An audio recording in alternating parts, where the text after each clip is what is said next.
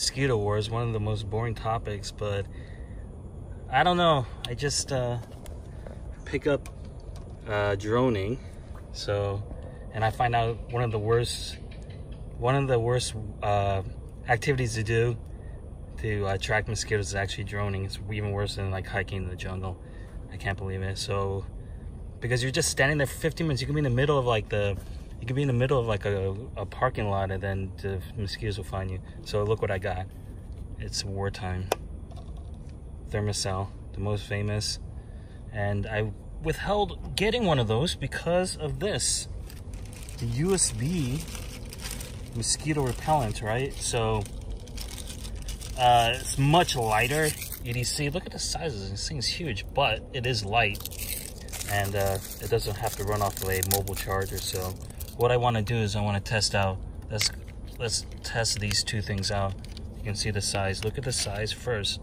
Look at the size of the, the mat. Double the size, right? So I think without a doubt the, the Thermacell is going to perform twice as better.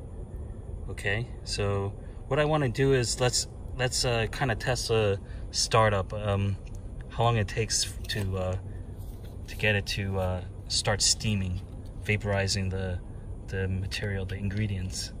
Oh yeah, so let's just start it. I'll probably cut the film and just maybe in five minute mark I'll just restart it and then the 10 minute mark. I think 10 minutes supposed to be the the here we go. This is on.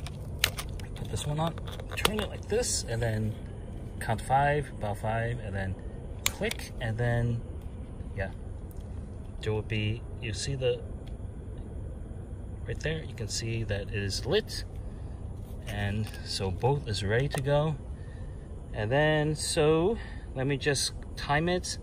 Five minute mark I'll, I'll film it again so you can see which one is uh, starting up faster. And then uh, to get an idea which one's better I, I mean I'm gonna say right now the Thermacell is gonna be better. So let's find out. All right get Two back to mark. You. um it's already smoking. Check that out man Thermacell for the win. Already steaming at three minutes. I can smell it. Kind of smells like soap. That's what the smell is. Let me go check out the this little USB thing. Uh, whoops. Drop the thing out. Checking it and nada. Not a single, still nothing. Wow. All right, let me check back at the as the time goes. So obviously look at the Thermacell go. Okay, yeah. So already for function, sport use, recreational, right? I guess if you this you will have for you can carry it all the time with you. This one, of course, you cannot. So if you know you're going outdoors, you carry this one. This is, this is not a replacement for this. But uh, like a photographer, the old sayings, and the best camera is the one that you have with you. So the, having uh, having the USB is better than nothing because it does work. Okay, let me get back to you. Oh, man, this stuff stinks. Okay, when they say there's no scent, that's bullshit. It smells like soap, which is not a bad smell. So uh, it is six minutes so far, and um, now we're starting to see. Well, out of the USB one, is starting to. It's hard to see, but the this Thermacell is just a beast. It's like, but you can see that the USB one, you can see it's actually smoking. So uh, three minutes, three minutes versus six minutes, and that's not full operation temperature. This one should be this one should be at 10 minute mark, it should be. So, ah, pros and cons of each one. Let's, how do we say it? Uh, I think what I said before, you definitely going out, bring this. If you're high altitude, I guess a gas won't work. It works off uh, boot, um, butane, but uh, I don't think high altitude has uh, mosquitoes. So uh, you can't fly with the butane cartridge. I don't know if you can buy it, source it at your destination if you have to travel somewhere. And uh, this, of course, you can travel with this. So that's that's a difference between that. Um, lighter weight. This is not heavy. It's light, but it's big. It is really big. It's like I don't know what are we gonna compare it to this mobile. I mean, I guess you can say this is the same, right? But mobile charger has another feature. It's it's charging your phone. You have you probably have one with you all the time. So I would say that's this is more like it. So compact, lightweight. This is light, not as light, and this is big. Um, double the power. Looks like double the output. It is uh, double the pad, and it's, it's and it's uh, heating that up, and it heats up fast. Um, it looks like it heats up fast. It's supposed to be a 12-hour uh, operation. Let's just say if it's six hours, it's a lot longer than this. This is gonna probably crap out in a couple hours, maybe an hour and a half. Who knows? In the small pack versus the versus a bigger mobile ch charger. It depends on what size mobile charger you carry, and so um, yeah. So unexpectedly, unexpectedly, you then you would you should have this with you at all times. And then this one went on purpose. There is no replacement, it, it seems. So I'm keep repeating the same thing. Let's see. It's nine minutes now. Let me just let it go for a couple more minutes and let's see uh, the full output of each one. All right, it's 11 minutes. They've both been running 11 minutes. And let's check it out. Okay. This is what the, out, the amount of output you'll get. That's not bad. Look at it go. You know, if you're indoors, this is not bad. So this is the indoor or close, close, uh, maybe close quarters, under the table, under the restaurant table, outdoor seating, something like that. I don't know. You can use this, right? Not so crazy. That's the output for that. And the Thermacell is a freaking smoke cloud double the output and look at it go. Damn, it's like a smoker. So, yeah, no comparison between the two, for sure. So, if you're hiking, this is completely useless. You know, this is like, how do you carry this? Put this in your pants and this, this thing might pop off and like fall on the ground. And maybe get electrocuted. I'm just joking. But you can't use, you cannot use either in the rain according to uh, you can't use that, and obviously you won't use this in the rain.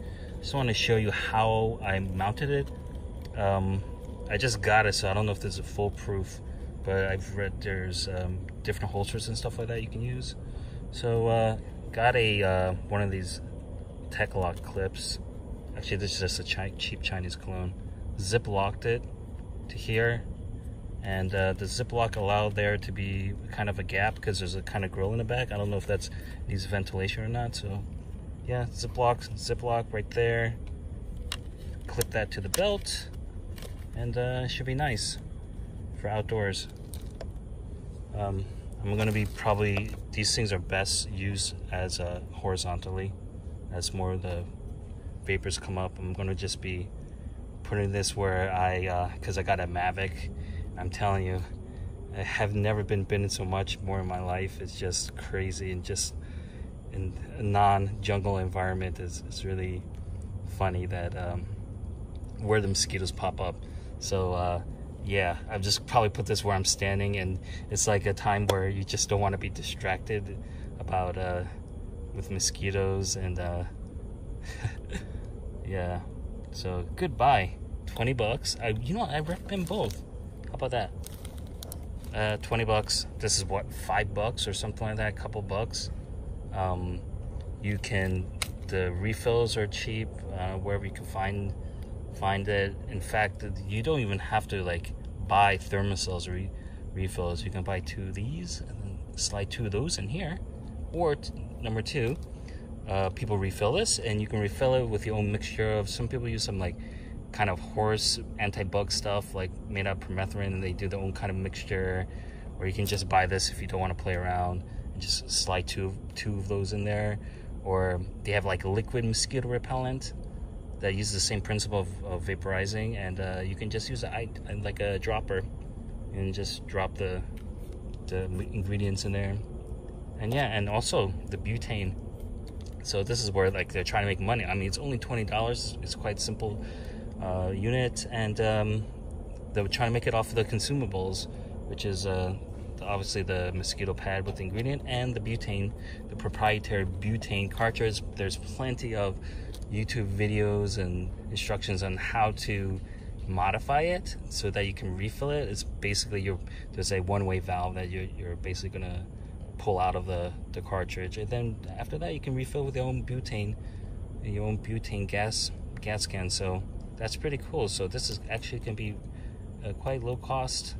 Or you can just buy the you know the Thermacell stuff if you don't use it so often. Maybe it's not even worth modding or if you're not a cheapskate, but uh, worth knowing. So both cheap solutions for mosquitoes in non-windy environments, obviously, um, and probably close quarters, great for hunters and such. Indoors, this is not recommended for indoors as well. That's what they say. So outdoors, maybe like this is more indoors. This is more EDC. This is more sport use, more field use, and um, so yeah, two good products in my opinion. Obviously, the Thermacell is a lot better this, this is not a replacement for the Thermacell. So, good to know. Good to know. And actually, yeah, imagine you're hiking or camping and uh, you don't want to ex exhaust your your mobile charger. You want to charge your phone for emergency, right? Uh, that one that one butane can go for you know a long time. It's not like you're gonna run run this 24 hours a day. I think so.